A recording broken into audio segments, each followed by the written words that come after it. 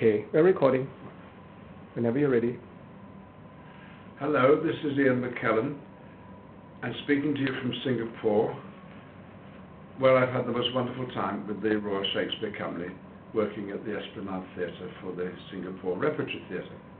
I knew very little about Singapore until I came here, and I was immediately encaptured by the beauty of the place, the old buildings as well as the new, the old culture and the new, and the people, who were unfailingly friendly uh, and helpful at every turn.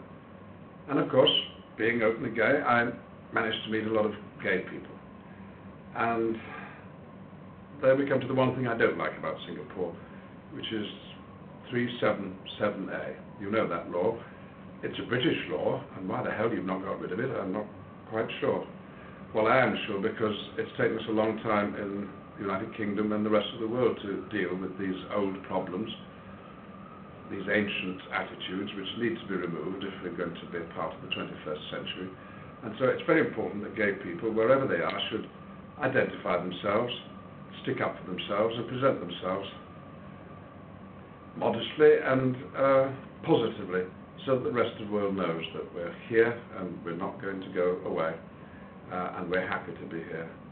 And that's why uh, IndigNation is so important. Uh, have a wonderful time. I congratulate the organisers uh, and I hope it's uh, a step, certainly in the right direction, but a positive step towards one day getting rid of 377A. And you know I'm on your side and I send you all my love. Bye-bye.